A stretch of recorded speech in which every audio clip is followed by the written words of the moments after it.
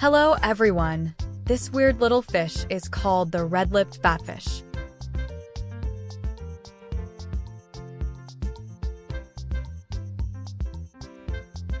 The red-lipped batfish, Ogcocephalus darwini, is a unique species of fish found in the waters around the Galapagos Islands and off the coast of Peru.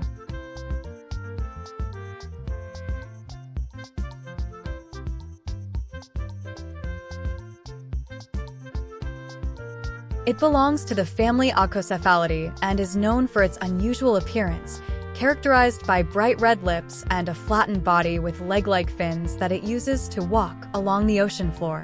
These fish typically inhabit sandy or rocky bottoms at depths of up to 250 feet, 76 meters. Red-lipped batfish are not strong swimmers and primarily use their pectoral fins to move along the ocean floor in search of small crustaceans and other prey. They are not commonly kept in aquariums due to their specialized habitat requirements and diet.